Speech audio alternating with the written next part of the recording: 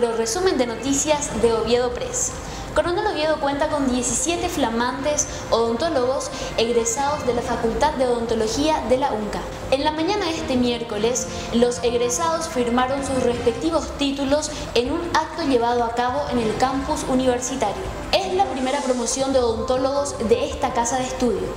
El decano de la Facultad de Odontología realizó una valoración para un evento que considera histórico. Un hecho histórico en la de Coronel Oviedo, que la Universidad Nacional pueda dar egreso a nuevos odontólogos, nuevos profesionales odontólogos.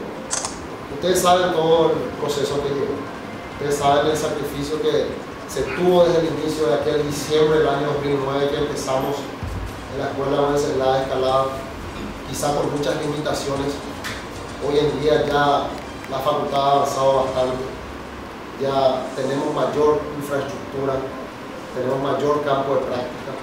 Una de las egresadas, Rocío Benítez, significó el gran valor de cursar la carrera y de contar con la posibilidad de estudiar en Coronel Oviedo. Cinco años de sacrificio de los padres, de los docentes y por supuesto nuestro también, ¿verdad?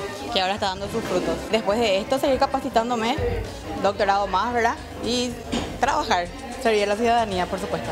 La verdad que como sabemos, eh, la carrera de odontología no, no, no, se encontraba dispuesta en la ciudad, ¿verdad? Todos tenían que ir hasta la capital o, o en la privada en Villarrica, por ejemplo, pero nosotros tuvimos la posibilidad de, de quedarnos en nuestra ciudad y en, un, en una institución nacional.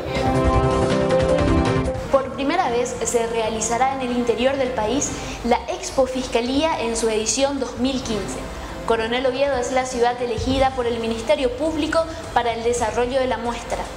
Gabriela González nos da detalles del evento.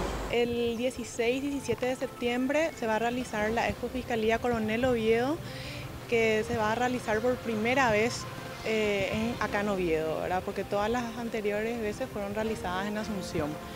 Y vamos a estar contando con la participación de de, todo el equipo de Asunción que está viniendo, están montando toda la estructura y va a ser abierto a todo público. También están invitados los colegios del, del área, también las ciudades vecinas como Villarrica, San José. Y mm, el 16 a partir de las 8 y media de la mañana vamos a estar esperándoles a todos, va a ser abierto a todo público. Además de los stands de muestras, varias actividades formarán parte del evento que se desarrollará en el Coliseo Departamental El Cerrito. También va a haber una cantidad de números artísticos, teatros, va a estar muy interesante. Eh, y, muchas cosas, laboratorio forense, van a estar realizando actividades también muy interesantes para que puedan acercarse y puedan interiorizarse sobre el tema. Aproximadamente unos 300 alumnos quedaron sin escuela tras la liquidación de la cooperativa Coronel Oviedo Limitada. Desde el mes de diciembre tendrán que abandonar el actual local para lo cual se ven obligados a alquilar un lugar para su funcionamiento. Este año vamos a terminar en este local, en este local, pero sí eh, a partir del mes de diciembre tendríamos que dejar nuestra casa y trasladarnos a otro local que ya estamos previendo, ¿verdad? La antigua, el, antiguo colegio comercio. Eh, yo ya hablé con la familia de Segovia Villasanti y ya hicimos un trato con ellos en forma verbal en realidad.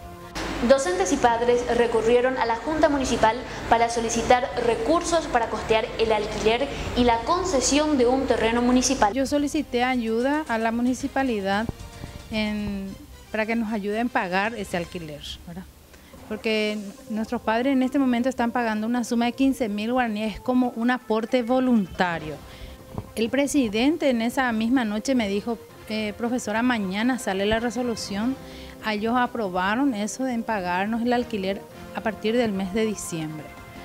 Y eh, como nosotros también le solicitamos un terreno, una donación de terreno, también me dijeron que sí es factible. Una vez que nosotros tengamos el título de propiedad del terreno en nombre del MEC, vamos a hacer llegar nuestro proyecto de construcción, no solamente al MEC, a la gobernación, a la, eh, a la municipalidad a través de FONACIDE, a la Itaipú, a todos los entes que nos puedan ayudar. En deportes, la selección obetense de fútbol enfrentará de local este domingo a su par de Concepción en partido de vuelta.